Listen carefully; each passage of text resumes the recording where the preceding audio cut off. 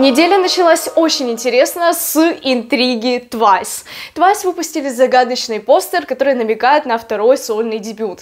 В июне прошлого года Найон стала первой участницей Twice, которая дебютировала сольно. Найон выпустила альбом I'm Найон, ну и клип на заглавный трек Pop. Кстати, Pop — это офигенная хитовая летняя песня, поэтому для летнего настроения обязательно переслушайте соло Найон. Ну что ж, настало время для второго сольного дебюта у Twice. Но на первом постере Twice не сказали нам, а кто же станет второй участницей, которая дебютирует сольно. Было только название проекта Killing Me Good и дата релиза. Ну, дата это слишком громко сказано, месяц релиза, август. Точной даты пока что нету. Ну и этот постер фанаты Twice, да и весь кей-поп фандом приняли как вызов. А угадай, кто же это из участниц Twice? Фанаты начали строить кучу теорий, но самое распространенное стало о том, что это будет соло Джихё. Потому что Джихё недавно показывала вот такой вот маникюр, и точно такой же маникюр появился на тизер-постере. И вот спустя несколько дней JYP Entertainment совместно с Twice выпускает постер, на котором мы уже видим Джихё, и да, фанаты были правы, они угадали, это будет соло Джихё. Очень жду его релиза, потому что соло на Йон мне очень понравилось, и я думаю, что соло Джихё тоже будет очень крутым. А какой концепт от соло Джихё вы ждете? Делитесь своим мнением. JYP Entertainment это у нас большая компания, конечно же, у них есть не только группа Twice, у них еще есть большое количество групп, и одна из их групп до сих пор не сделала камбэк в этом году. ITZY, одна из моих самых любимых кей-поп групп, очень жду их камбэк. И наконец-то на этой неделе появились первые намеки о камбэке девочек.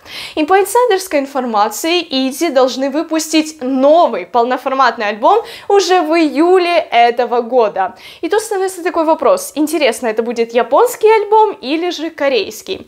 Казалось бы, по всем догадкам, скорее всего, должен быть корейский. Но на недавнем концерте в Японии Ити делали заявление о том, что они скоро выпустят японский альбом. Но при этом другие инсайдеры утверждали о том, что японский альбом должен выйти осенью. Так что сейчас есть очень много инсайдерской информации, непонятно кому верить, кому не верить, но вот этот факт о том, что ITZY должны выпустить выпустить полноформатный альбом уже в июле этого года, очень похож на правду. Корейский это будет или японский релиз, пока что непонятно. Но я думаю, что в ближайшие дни JYP Entertainment уже сделает какое-то заявление, потому что JYP, я думаю, вы замечали, они любят такие прогревы к камбэку, которые длятся около месяца. Ну а сейчас у нас уже 10 числа июня, так что я думаю, в ближайшие дни мы получим первый тизер-постеры от ITZY. Очень жду их камбэк, потому что эта группа одна из моих самых любимых любимых в кей-поп. Еджи и Рюджин из ITZY. Это прям мега кей-поп коллаб.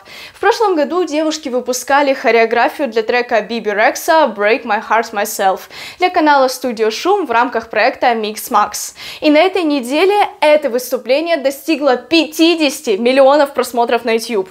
Просто вдумайтесь в эту цифру. 50 миллионов. Это очень много, ну и это безусловно заслуженно. Во-первых, совместная работа Еджи и Рюджин это уже круто, ну и посмотрите выступление, оно очень крутое. Девушки офигенно работают в тандеме. Кстати, хочется сказать, что после релиза этого хореографии девушки даже сделали ремикс совместно с Биби Рекса на этот трек Break My Heart Myself.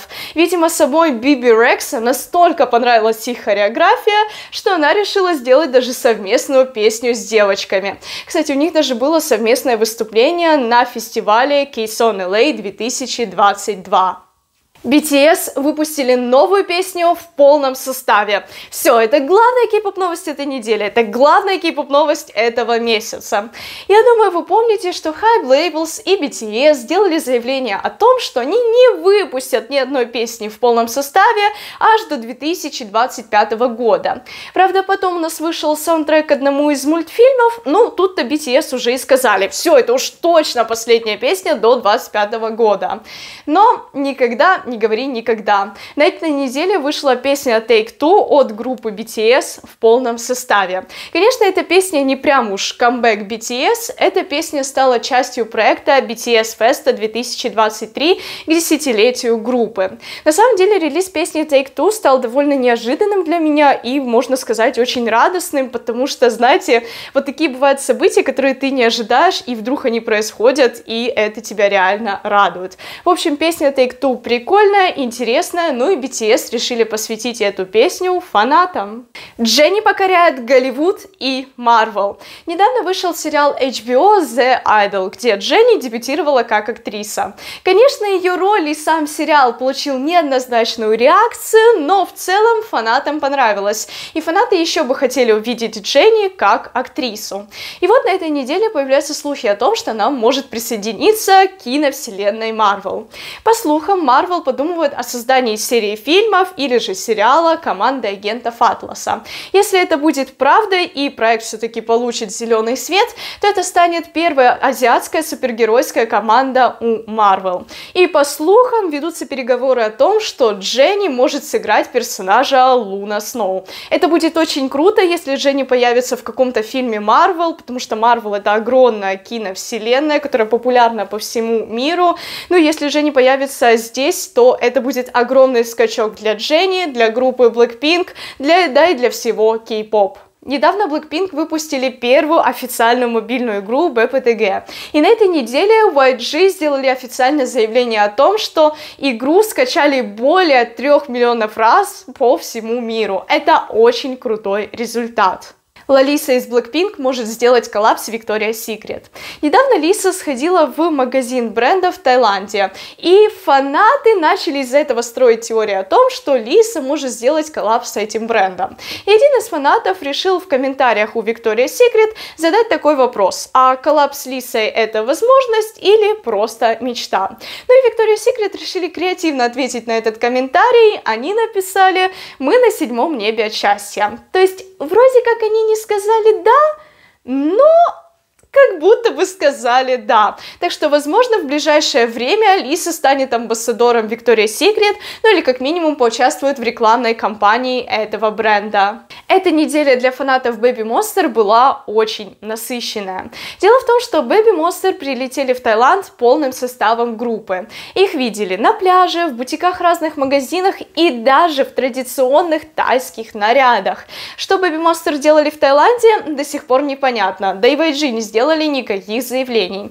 Но некоторые фанаты построили теорию о том, что, возможно, Baby Monster снимали клип. Ну, потому что у кей-поп айдолов стало очень модно снимать в клипы Таиланде. Клип with Seraphim Unforgiven был снят в Таиланде, новый клип Шуги тоже был снят в Таиланде, так что, возможно, Baby Monster реально снимали клип. Ну или же в Таиланде они просто решили отдохнуть. Точного заявления еще не было. Но уже сейчас девушки вернулись в Южную Корею. И лично я строю теорию о том, что что, возможно, прямо сейчас начнется активная подготовка к дебюту, и я надеюсь, что в ближайшие дни, возможно, или в ближайшие недели мы получим первый тизер постера к дебюту группы. А группа TXT готовится к своему возвращению. Еще в январе этого года парни выпустили новый альбом и клип на заглавный трек Sugar Rush Ride. Потом они рванули в мировое турне, ну и, конечно же, в это время у них не было времени выпускать новую музыку. Но на этой неделе появились заявления о том, что TXT выпустят новый трек уже в июле этого года. И также по сети пробежали слухи о том, что, возможно, этот трек станет пререлизом к альбому, который, возможно, выйдет в августе. Но вот эту вот информацию компания группы решила пока что не подтверждать. Компания подтвердила только сингл в июле. Кстати, уже появились слухи о том, что этот сингл, возможно, спродюсирует Райан Тедер, участник группы One Republic.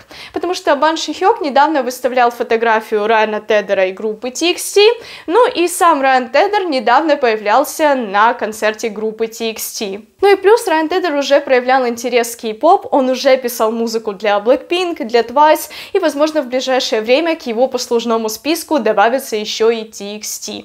Вообще, Райан Тедер это очень талантливый человек, который уже писал музыку для группы One Republic, и для Blackpink, и для Twice, и для Adele, и для Taylor Swift, и даже для Арианы Гранде. В общем, написал очень большое количество популярных треков. У меня на канале даже есть видео, в котором я рассказываю, какие же треки написал Райан Тедер. Обязательно его посмотрите. Вы будете удивлены, но большинство популярных треков написал этот человек. Psy Coming Back. Легенда кей-поп возвращается.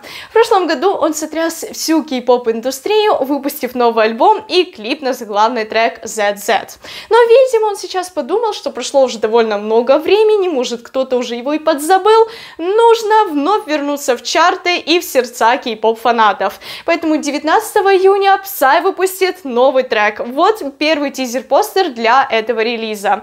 От этого тизер-постера веет вайбами клипов Gun Gangnam Style и Джентльмен. Кто знает, возможно мы получим что-то похожее на те клипы. Группа Zero Base One, сформированная благодаря шоу на выживание Boys Planet, наконец-то объявили дату дебюта. Уже 10 июля парни выпустят дебютный мини-альбом Use in the Shade. Ждете дебют парней? Будете следить за группой? Делитесь своим мнением в комментариях. А Mnet решили раскручивать Zero Base One еще до дебюта. На этой неделе Mnet объявили о запуске реалити-шоу Camp Zero Base One. Его первый эпизод выйдет 22 июня. Забавно, дебют группы группы будет только 10 июля, а реалити-шоу начнет выходить еще с 22 июня. Camp Zero Base One это, конечно же, не единственное реалити-шоу у Mnet, потому что это очень большая компания, и они не могут себе позволить делать одно реалити-шоу.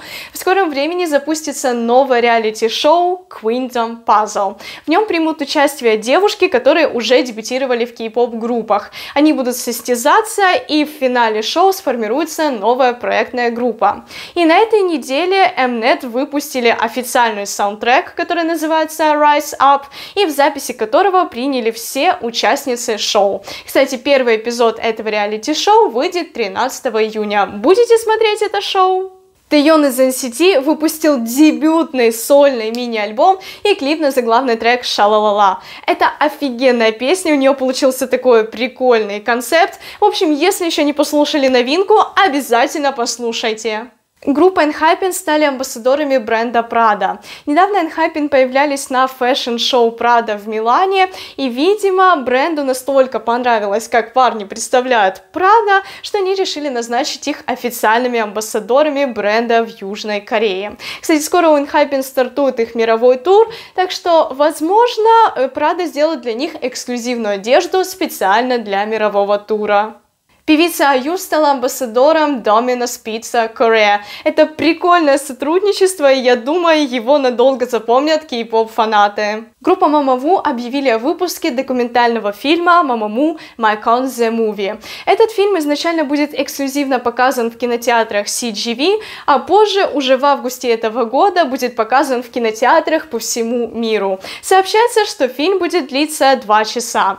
Я хоть и не являюсь особым фанатом этой группы, но я обожаю документальные фильмы про музыкальных артистов, поэтому очень жду выпуска этого фильма. Фестиваль Кейсон LA объявили состав артистов, которые посетят их фестиваль в этом году. Среди них Идзи, Everglow, 50-50, Wavy, G-Idol, ATEEZ, IVE, XG и еще большое количество популярных кей-поп артистов. Этот фестиваль просто стал огромнейшим фестивалем, который привлекает самых топовых кей-поп артистов.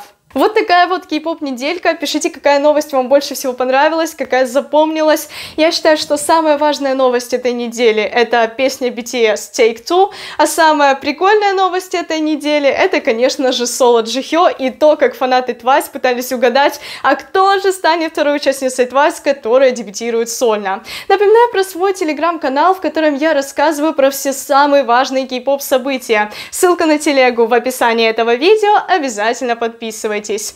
Ну и, конечно же, если вам понравилось это видео, то обязательно поставьте лайк. Так YouTube поймет, что это видео нужно рекомендовать другим пользователям.